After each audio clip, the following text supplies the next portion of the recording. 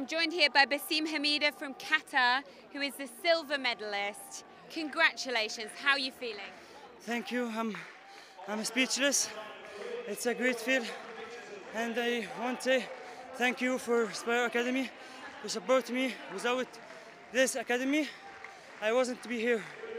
And thank you for my family because they support me and I miss my mom very much.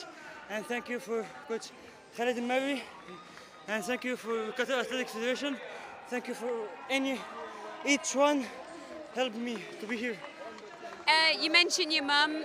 Will, will, will she be watching your race? How proud will she be? She, I think she watched me now and she was very proud for me yesterday.